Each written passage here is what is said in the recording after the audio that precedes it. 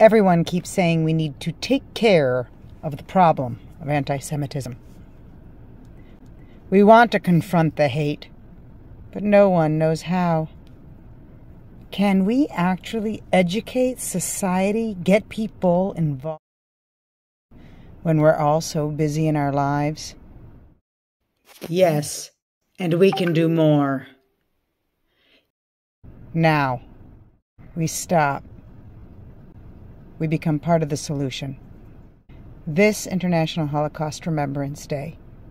Find a chance to talk with your friends, colleagues, and family members about what more we can each do to face the hate.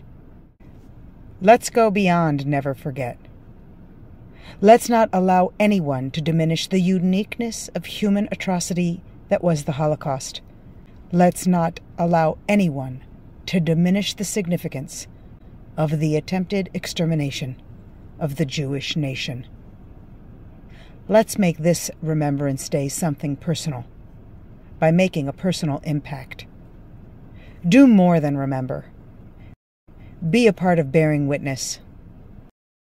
And be the change you want to see in the world.